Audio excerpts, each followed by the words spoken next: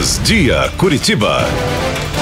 Na Jovem Pan News. 10 e 37 Vamos em frente com o noticiário aqui para você que nos acompanha. A Câmara de Curitiba deve discutir neste ano de 2024 a possibilidade de estabelecer uma política de controle parental em estabelecimentos públicos e privados com acesso à internet. A proposta foi apresentada pelo vereador Noriceto do Progressistas e que tem como objetivo incentivar a implementação de medidas de controle parental em todos os ambientes da cidade. Segundo o parlamentar, ao adotarem essas medidas, podem servir como modelo para que pais e responsáveis também incorporem tais práticas em suas casas. Quem vai explicar um pouquinho mais dessa proposta e como ela impacta nos estabelecimentos privados é a repórter Beatriz Frener. Bom dia, Bea, para você. Bem-vinda ao RIC Notícias Dia.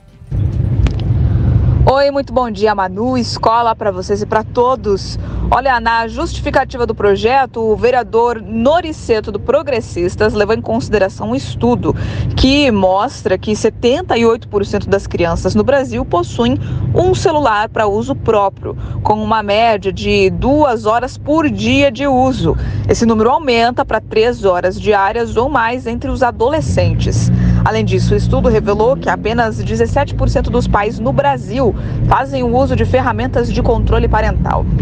Sendo assim, o vereador aponta que existem riscos reais para a internet, em relação à internet, como a propagação de conteúdos inadequados, cyberbullying e sites promovendo comportamentos que seriam prejudiciais à vida. O projeto exige que os estabelecimentos públicos ou privados que ofereçam acesso à internet implementem filtros.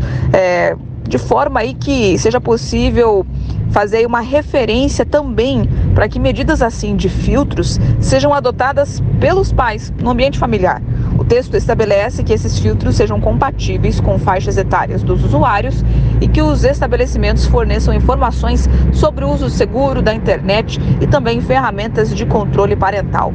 O projeto ainda determina que o acesso à internet seja aí é, necessário para ter num estabelecimento um cadastro do usuário, incluindo nome completo, data de nascimento e endereço residencial. De acordo com a proposta, somente dessa forma seria possível promover um acompanhamento efetivo do uso das atividades online das crianças e dos adolescentes. Tá aí a proposta, então, que vai tramitar na Câmara de Vereadores de Curitiba para ter essa espécie aí de regulação da internet nos ambientes privados, nos estabelecimentos que forneçam o Wi-Fi, principalmente como foco de orientar os adolescentes e também as crianças sobre o uso adequado das redes. Volto com vocês.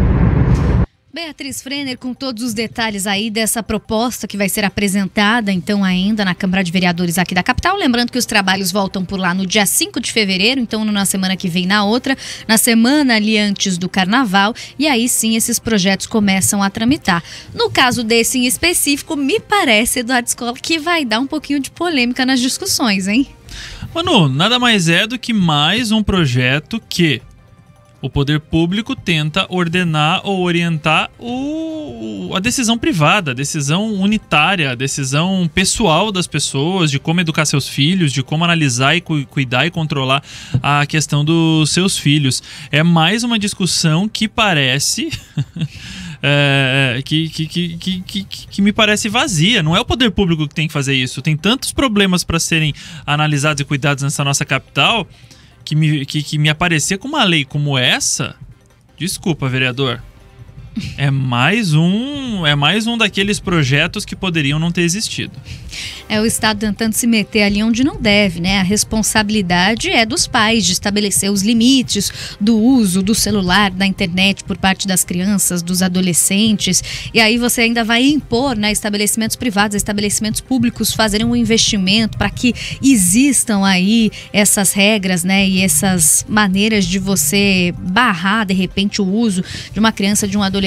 Parece que, que, que não diz respeito. Também não sabemos se vai caminhar muito ali na Câmara de Vereadores de Curitiba, mas claro, estaremos acompanhando aí para ver como vai ser o caminhar dessa proposta que foi apresentada pelo vereador Noriceto do Progressistas. 10 horas e 42 minutos agora.